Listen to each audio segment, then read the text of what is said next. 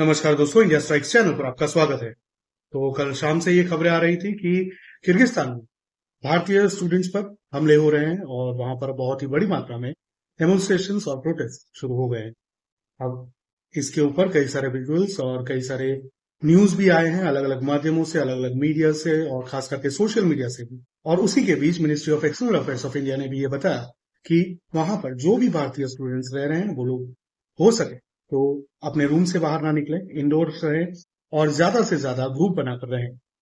अब जब इसकी तहकीकात की कि क्यों ये भारतीय स्टूडेंट्स के ऊपर हमले हो रहे हैं तो उसमें जो असलियत बाहर आई, वो कुछ इस तरह से है कि वहाँ पर बिस्केट में जो कि किर्गिस्तान का कैपिटल है, वहाँ पर एक खास इलाका है जहाँ पर कई सारे इमिग्रेंट स्टूडेंट्स रहते हैं। उसमें इंडियंस हैं, पाकिस्तानी हैं, बांग्लादेशी हैं इजिप्शियंस हैं और अन्य कई माइग्रेंट स्टूडेंट्स वहाँ पर रहते हैं, जो वहाँ पर पढ़ाई करने के लिए गए हैं।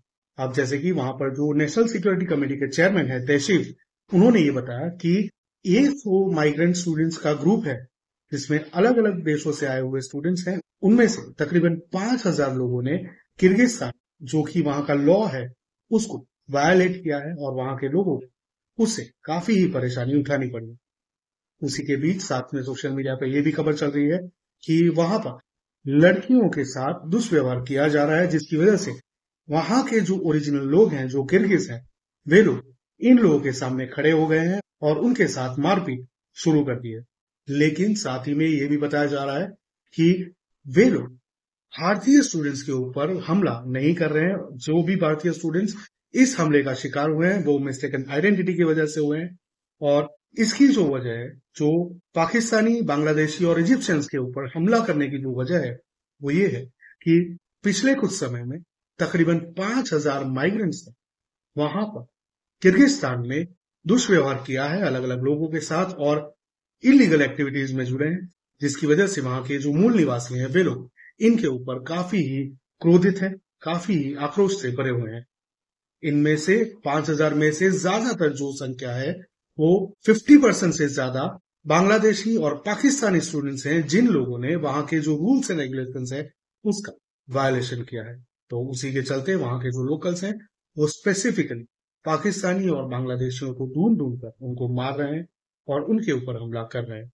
अब ये जो स्टेटिस्टिक्स हैं, ये जो फिगर हैं, वो फिर से बता दें कि वहाँ के गवर्नमेंट ऑफिशियल ने खुद ही दिए हैं। तो उसी के चलते ये स्पष्ट हो जाता है कि वहाँ पर ये जो पूरा हेट क्राइम चल रहा है, वो भारतीयों के खिलाफ नहीं, बल्कि पाकिस्तानी और बांग्लादेशियों के खिलाफ और कुछ हद तक इजिप्शियन स्टूडेंट्स के खिलाफ चल रहा है।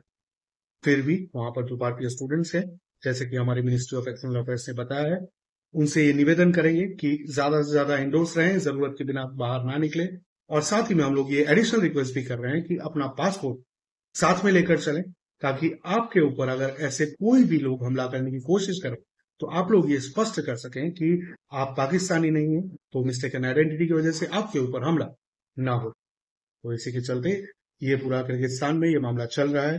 जैसे जैसे अपडेट्स आएँगे, हम आपके साथ ज़रूर शेयर करेंगे। आपके जो भी प्रियजन वहाँ पर रहते हैं, चाहे वो पढ़ाई कर रहे हो, चाहे वो काम से गए हो, उन लोगों को इस बात से ज़रूर आगाह करें और उन लोगों को सचेत रहने को कहें। आपको ये खबर कैसी लगी है हमारे साथ कमेंट में ज़रूर साझा करें कि आपको ये डिटेल्स पता थी। ये हमें ज़रूर बताएँ। इसके अलावा भी कोई और डिटेल्स हैं आपके पास? इस पर्टिकुलर किर्गिस्तान में जो डेमोन्स्ट्रेशन हो रहे हैं और जो वायलेंस हो रहा है माइग्रेंट स्टूडेंट्स के खिलाफ, उसके बारे में वो हमारे साथ कमेंट में ज़रूर साझा करें। वीडियो को लाइक करें चैनल को सब्सक्राइब करें बेल आइकन दबाना ना भूलें ताकि आपको रेगुलर अपडेट्स मिलती रहें। मिलेंगे अगली खबर में। तब तक के लिए जय हिंद, हर हर